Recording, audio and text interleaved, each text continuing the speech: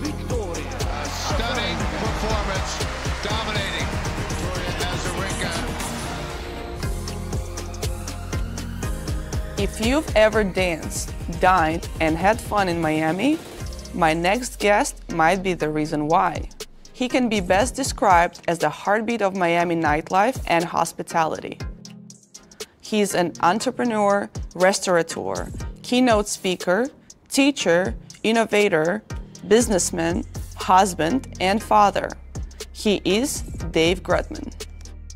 Hi, everyone, and hi, Dave, and welcome to Think About It Season 2. I'm very happy to have you on my podcast.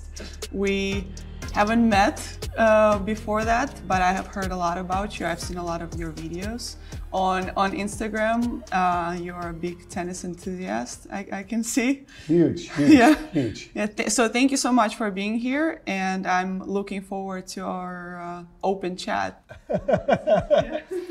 I mean, season two.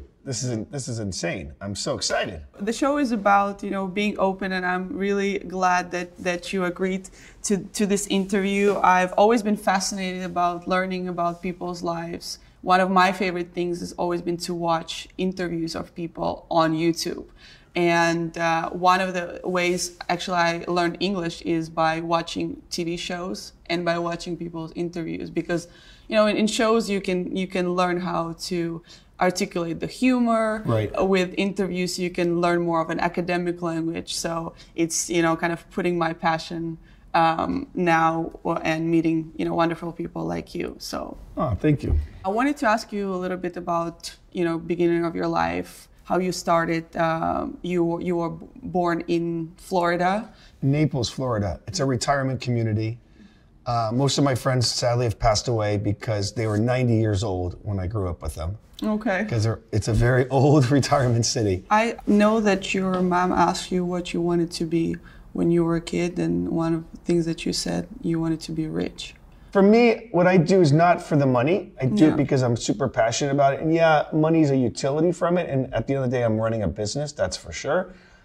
But I would, don't tell this to anybody, but I would do this for free. I love what I do. I mean, it's not really work for me. I, I, I wake up, you know, on the tennis court at eight and I'm thinking about working. I'm on phone calls before that. And then sometimes I could go to sleep at four or five o'clock in the morning. It's just, but all thinking about my work. And that work is it's my lifestyle. It's not like I could separate it really because of the I'm in the hospitality business, so it's constant. It, it's not nine to five. And one of the things that you know I think maybe you can talk a little bit about more is it doesn't come on the first try. You know, it's No, I, I I know people always think, wow, you have great nightclubs and restaurants and all this, and I'm like, yeah, but it's not all rainbows and hoes. It's not like this is just the most beautiful. Like people think it's an overnight success. First of all, it's two years to design and build a restaurant. It's three years to pay, three to five years to pay back that investment. So that's a that's a five to seven year where you're working for free situation, and um, people understand have to understand you have to be a long ball player to really understand that. And look, I have a lot of restaurants and nightclubs and, stuff, and hotels, but I opened up a diner. It wasn't working. After three months, I had to switch out the concept. So they don't always hit home runs every time, but it's how you get up the next day and, and keep going. Can you tell me a little bit more about the beginning, um, beginning of your career, your first club, Sure. and on the notes that I have, your first club failed. Big time. Yeah, big time. and the reason, the reason, can you talk a little bit about the reason? Yeah, so of th- it? what you're getting at is um, I was running a nightclub company for a long time, and I was doing great. These guys were killing it money wise and all that. And I thought, hey, listen, if I'm turning the needle, I want to be, I want to be an entre- I'm an entrepreneur. I want to be a partner in that, and they wouldn't make me a partner. But another club said, hey, we're opening a new club. We'll make you a partner. So everything I did when I went to that new club was to show the old guys, look at me, look what you made a mistake on, you should never passed me. But my ethics and my beliefs weren't lined up correctly. And I failed so badly that the old guys bought the club for me. So when I got the opportunity to take LIV at the Fontainebleau, I said, you know what? I'm not gonna worry about anybody else. I'm gonna do what I do great.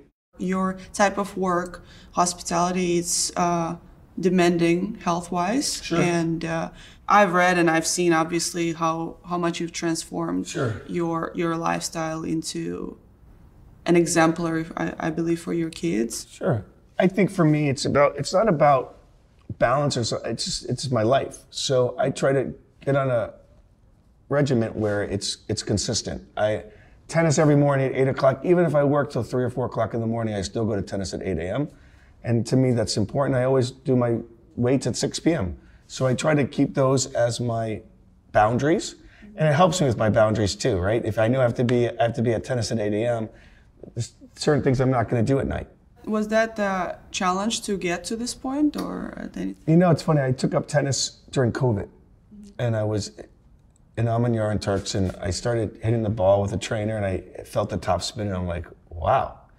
And once you get passionate about it, it doesn't. Again, it doesn't seem like a boundary. It doesn't seem like because I'm so excited to go play, and I love it. So, I'm not. I don't love lifting weights anymore as like as much as I used to, but. I know I have to because at the end of the day, I'm a chubby Jewish guy that just wants to eat and, and just eat everything. And if I don't balance myself, it'll be it'll be bad. That's funny. What do you think drives your passion in tennis now? Because I, I know that you've started a, a venture Prince, in, yeah, in, in partner the, in Prince. with partner. So I, I was a partner in Prince before I liked tennis. I thought what was cool about it was the, it was like a country club brand from my childhood. Mm-hmm. Agassi, this one, that, you know, they all had the Princes. And I just think there's something about a, a heritage American brand like this that's iconic. And to see it go down so much and now it's so, so much on the rise has been such a cool thing for me to bring it back to life. What is your ideal to see maybe in next few years? So uh, with Prince, listen, I think it's it's one of these. We're doing so many cool collabs that I think it's uh, it's growing as it is, and people had a moment of time with Prince. A lot of people, whether they were tennis players or not, Prince was such a cool brand back then. I like the nostalgic of it, uh, and I like being an. I, I love brands that are iconic brands, and I think uh, people want to want Prince to succeed. So that's super cool. On the hospitality side, I. Um, you know, we're trying to go out of Miami. We're opening Komodo in Dallas, um, doing five spots in Vegas. Uh, Pharrell and I are doing a resort in the Bahamas, and uh, we're doing some restaurants in Doha, and we're looking at Saudi. We're looking at everywhere. But um, Global domination. I, I think it's time. I mean, that's that's what I'm here for. And uh, yeah, and I think for me personally, I think that's the exciting part to be able to take what's exciting about Miami and bring it to other markets. I wanted to ask you also, as as a fan of tennis, what uh, drives you to not only play but also watch tennis? it's funny because I was really friendly with I'm really friendly with Stan, right? And when I, and I remember going to the French Open with him and being like, "Oh, five hours! This is crazy. This, the heat, you can't move because his family's there. His girl, and he's superstitious, and you have to sit there for the five hours in the sun at the French Open." Going back to seeing tennis last summer as a fan, now going to Wimbledon and stuff like that, it was like I, I, I wanted more than five hours. It's just so different now when you're like obsessed with the sport. Yeah. It's it's amazing. Do you really want to sit five hours on the court? Listen, I, have, think I, have, two and a I have two ADD. and a half. By the way, and, and you know the next match Stan had, it was only two and a half hours. Sadly, I think that's that's kind of a, a good good, it's a good, time. range, two and a right? half hours It's a good enough, right? Five is a lot, though. No, Yeah. do you play a lot of five-hour matches? I have not played. My longest match, I think, was like 340. Three hours, something like that. Or three, three and a half for sure. What have been your um, most challenging collaborations, most fun, something that, you know, kind of just sparked the ideas? It's funny because Reebok made these Groot Reeboks for me as like a, as like a promotion thing, and then I started talking to them. I'm like, let's why don't we do Prince Reebok? There was a time where Michael Chang had the right, and he was playing with you know Reebok and the whole thing, and it turned out to be a really cool thing for me, and that was like I'm getting to, to do a collaboration with an iconic brand. And I thought that was for me t- really cool. That you know Reebok, I always think of as another level, and the fact that I could get them excited about doing something with Prince was really rewarding for me. you know, for me, what's kind of interesting to see with uh, my son is the the reflection that you see in them of yourself and it's like I, I learned through him how to better myself because it's like I need to be an example and not say what he needs to do and kind of show him what I think is the right is the right thing. I have one daughter that's incredibly sweet, loving, all that, and I have another daughter, my second daughter, uh, Vita, who's tougher. Yeah. And to see the two differences, but yeah, it's it's really you can see that people really have their own identity, Yeah. and um, but yet they love each. I mean, they love being sisters, and I think that's the coolest thing ever. You know, in, in, in sport, I talk uh, a lot about people how parents are such a big role in in their lives, and a lot of parents maybe weren't satisfied with their Childhood. career choice or childhood, and you see that you know pushing on on onto the kids. How supportive were your parents in what you were doing? So, my parents, you know, um, by being a divorced, you know, you get little bits of both, and they weren't quite like that at all. Um, and I'm not like that with my kids, thank God. You know, I just really want my my kids to be happy and healthy. That's really at the end of the day, because I know the rest, it, it'll come no problem. But Yeah. I just want them to be super happy. And it's funny how your whole mode changes with your kids. You want to just keep them so safe and protected Yeah. and it changes the way you, you deal with people as well, right? You, yeah. My attorney's a female, and she messed up on something. I got really angry, and then she said to me, "She goes, would you let anyone talk to Kaya that way, my daughter?" And I, ever since then, I could never raise my voice. I could never do anything, and I'm glad she did because it puts into perspective for me. No, I wouldn't want anyone to talk to my daughter the way I, I, I was upset at that moment, and it, I was like, this is not fair that you just did this to me. This is like kryptonite you just put on me.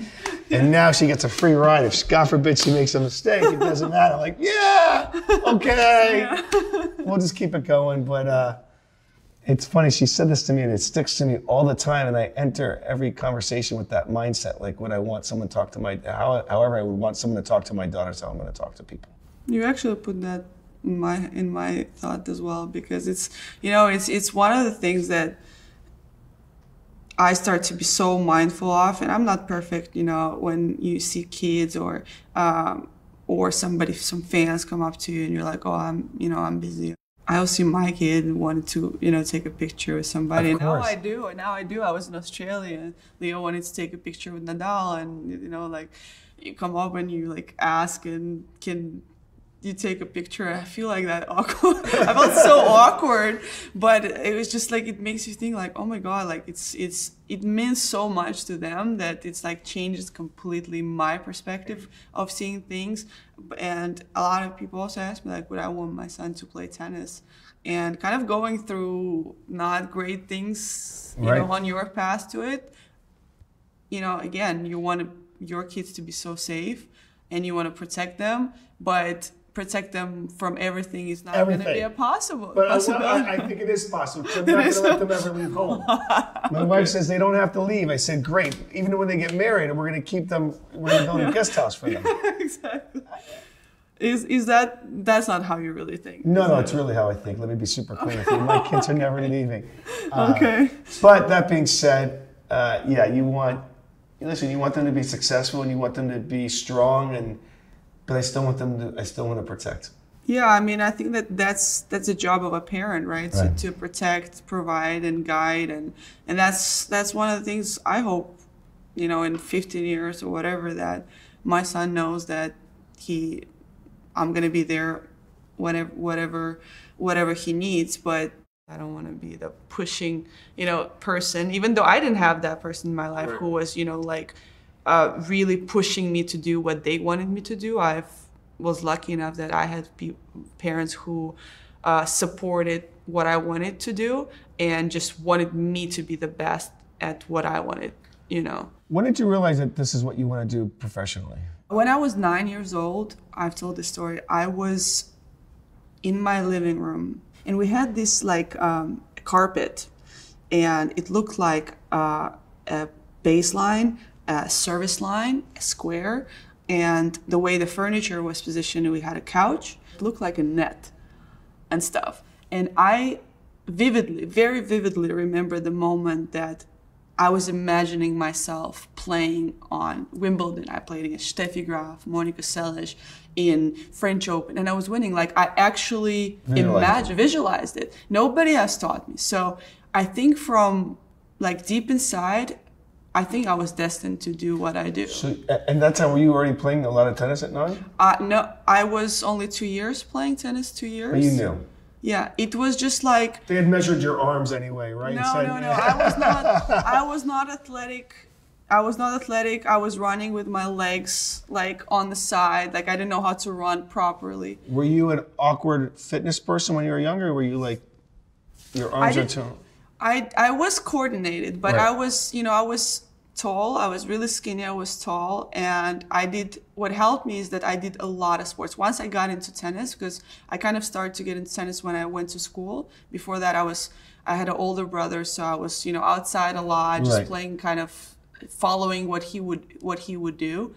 Um, and then not following what he would do, which saved me. so, but it was just like I started to uh, was as soon as I started tennis, it was like everything. It was football, it was basketball, it was table tennis. We had table tennis with tennis. So I started to just do everything: athletics, gymnastics, like whatever we could do. Like, I mean, we played table tennis with you know the the plastic boxes of uh, tennis strings. Really? That what we would do. Like we would uh, play handball or like whatever was available because we had no phones, we had no electronics. It was just outside. No like, social media. No social media. My mom, I was begging my mom to let me play outside. Like, I mean, I a lot of parents had to push their kids to just like go outside, right? right? And I think the the multi culture that we are like when I grew up, I didn't really have a multicultural right, environment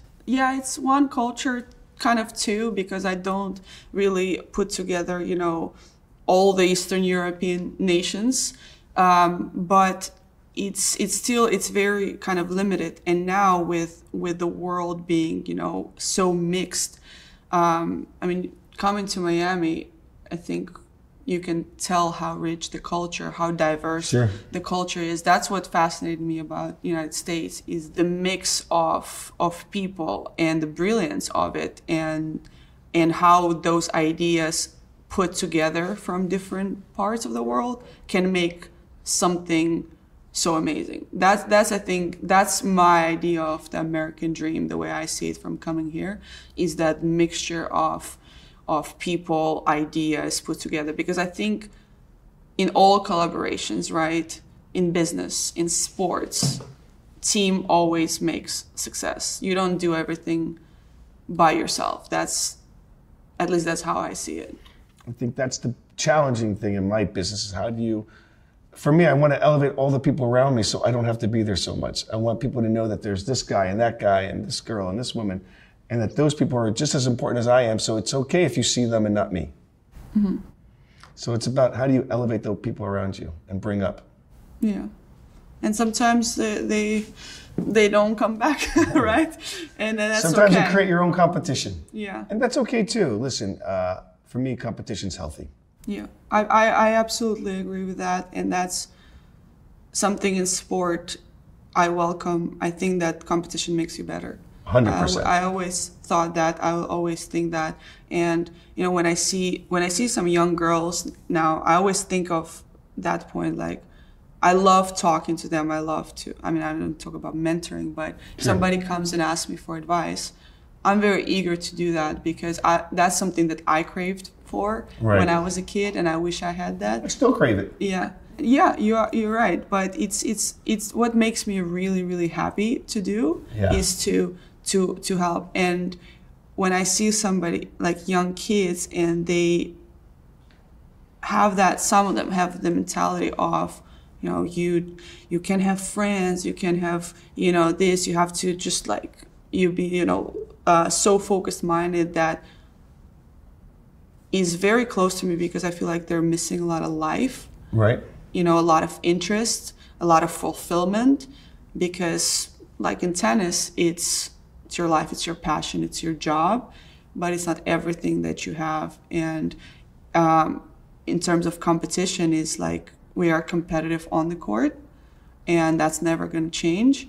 But off the court, there, we're still, you know, human beings, and I think if I can bring somebody up, somebody can do that for me, and it's a chain that that that goes, and and I think that part is unfortunately sometimes missing now in the world, but I still feel hopeful. You know, one thing I think you should really talk to the up and coming, the next generation is don't be worried about the fee so much or the sponsorship or whatever that is. Worry about getting equity in that brand. And I've seen that kind of tide turn over the last few years, even with my own wife. Listen, she, they asked her to be a model or the face person of a certain brand. She goes, "That's that's great, and I'm happy to do it, but I'd like to have the equity and not the not the fee." Yeah. because that's how you gain real wealth. Like you know, everyone when I, when someone's applying for a job for me or an executive position, they just want to talk about their salary, and I'm like, you know, I'm opening 28 places in two years. Shouldn't you try to be talking to me? How do you vest? How do you become, How do you get equity? Because the multiple on that is so much more on a salary or a fee that you're going to pay taxes on once you pay your mortgage and this and that. There's really nothing there. But to gain real wealth, it's when companies exit and being an entrepreneur. That's how you make the real money. Yeah. I think that's what the next generation is starting to learn because I think this next generation is the hustle generation. They're all about being entrepreneurs and hustling and this and that. It's exciting, it's inspiring, but you have to make sure that people know that as well. Yeah. And they don't lose the value, right? Their values with that hustle. Wow. I mean, I meet these these founders, you know, because being who Miami is right now, I, I meet one or two founders a day. These kids are coming out of Yale, Stanford, and they're they're shaking, but these guys are going to be the ones that are changing the world with their new companies and brands and stuff like that. And I think it's so cool. Yeah. I think it is, uh, and you know, we talked about it earlier as also athletes becoming, you know, such entrepreneurs and company. Incredible. It's it's it's really changed over the last two years, and uh, that's something that hopefully we'll see on a more global uh, global field, and with sports moving and Especially tennis, it's such a social sport. You know, it's like it really puts you in that position to. I've closed so many deals now on the tennis court. so many. It's crazy. They come and train with me for an hour. We play a little tennis, and I and I get deals done. It's been incredible. Mm. I've used tennis as a real platform for me to get deal flow. wow. It's in, it's awesome. Mm. It's so cool. I think tennis is the, is one of the coolest sports out there because it's really technique. It's not just it's it's a lot of stuff. It's just not hit a ball. It's, there's a technique behind it. How much technique do you actually pay attention Well, to? I've you- seen if- the videos. If, of, if you ask of- my friends, if you ask my friends, not much. But I try. It's funny when I, I, I if I if I travel and I can't play tennis for two or three days, I lose my forehand completely. How come? I don't know. We I need to go on the court and I need Yeah, to see that.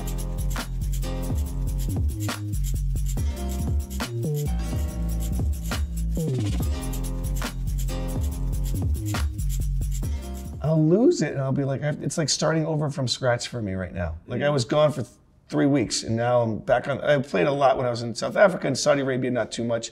I did play with a Saudi Arabian girl that's 17 years old and she's like the next pro for Saudi Arabia. And to hear her struggle through a sport that just came to a country basically, and that she doesn't have much competition. She's beating the boys. She's she she has to seek out competition. It's to see what she's going through. It's, it's really interesting. So. Yeah, we. Uh, I mean, I would love to see.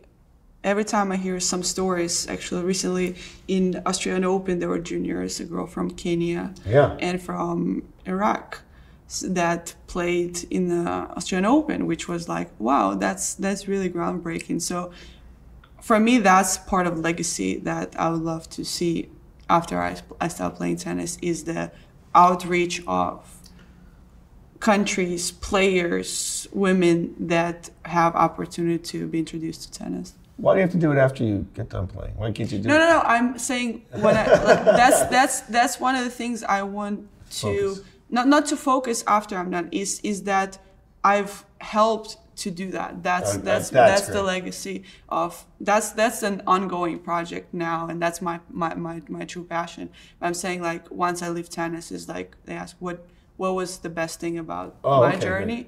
That would be that would be the one. Yeah, I mean, listen, I teach a col- I've taught a college class now twice, and I go and speak at all these schools, and I do it because I think it's important to live my legacy now and, and do that now because there's stuff they don't teach you in college that you only know from being on the court or in the mix of things that they have to know that they don't just teach you like your coach is not going to teach you your your your teacher is not going to teach you that. I think it's important that they need to know that now. Yeah, and the theoretical study, right, is you are going to to those universities and you are being an example, and it's and it's kind of going back what I said about the way I look at parenting is that you have to show people how to do it and not not to talk about it, and that's part of a school situation that was a bit harder for me in certain subjects in certain areas that you know a theory you don't know how to use that or where to apply that. Right. and it and it and it gets uh, and it gets lost. It gets lost. Like i don't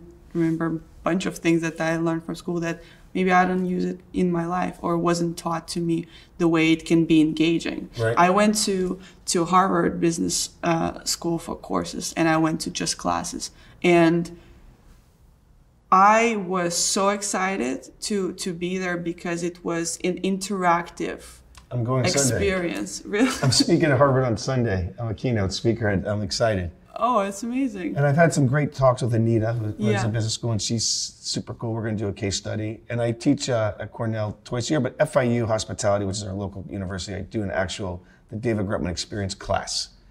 And to be able to, I need to I need to come on that. It's when, when can I when can I sign up? so it's eight three hour classes. Are you in for that? Eight three hour, yeah. Yeah, each class three hours. I always surprise them with somebody, obviously. I don't tell them who. And uh, to break down what's so easy for you to do every day of your life, to be able to teach it is so hard. Yeah. Like, how do you have great relationships? How do you break that down and show someone how to have a great relationship? It's so natural to me. yeah.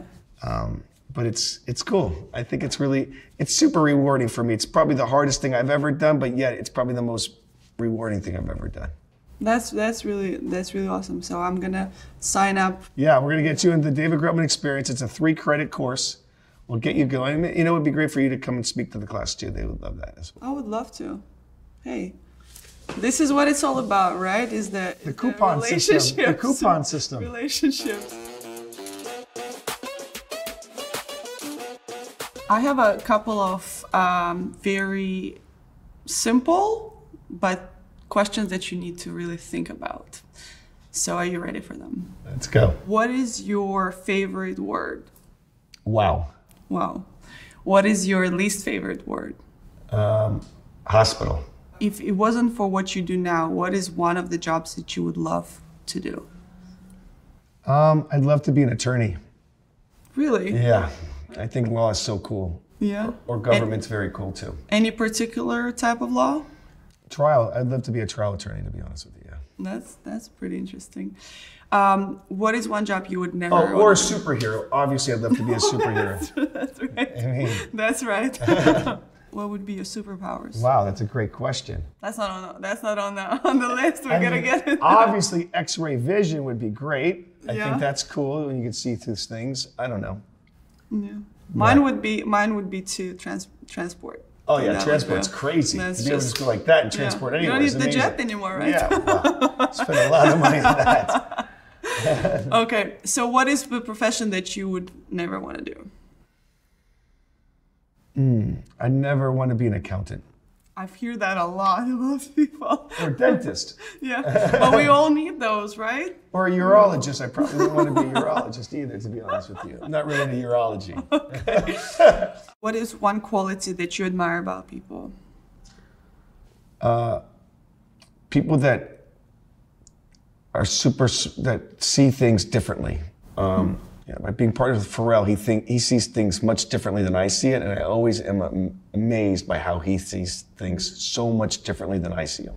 I uh, I've had a chance to meet him once. Uh, actually, with Serena, we went to his concert in Paris, and he's fascinating. I mean, he's is really really fascinating person. I, I'm never I never take it for granted that I'm able to FaceTime with him or meet with him and talk to him and, and do these projects together because it just is such a different perspective than I see things. Yeah, it's. I mean, in the in the most respectful way, he's like an alien to me. Yeah, I'm telling you, I tell people all the time, I'm so lucky to be partners with the Dalai Lama, basically, because he's literally the Dalai Lama. Yeah, It's really incredible. Uh, and what is the quality that you don't like about people? Ungratefulness or selfishness. I can't stand that. And the last question is if there was an autobiography that you would write, what would the title be? It's gonna be. It's it's gonna work out. It's gonna It's be gonna all right. It's gonna be all right. It's gonna be all right. It's gonna be all right. It's gonna be all right, all right, all right. It's, it's all gonna work out. Thank you for, for being here, for being open and honest in this conversation, for you know inspiring next generation, sharing your your advices. I mean, it's it's really really valuable. I hope that people tune in and learn from from a different perspective. Sure. And uh, yeah, thank you so much for Great. for, Thank you for having me.